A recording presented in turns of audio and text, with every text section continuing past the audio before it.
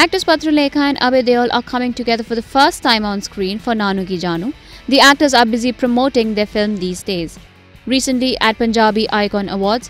where the actors were asked about working with each other, they said, वो बहुत sweet है वो बहुत ही अच्छी लड़की है बहुत मेहनती है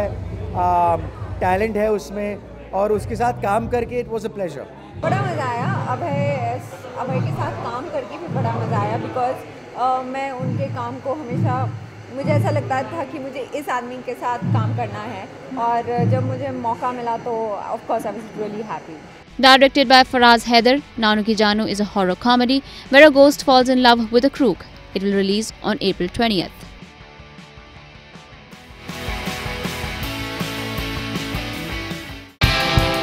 Subscribe to our channel. Just click on the bell icon for all the latest updates.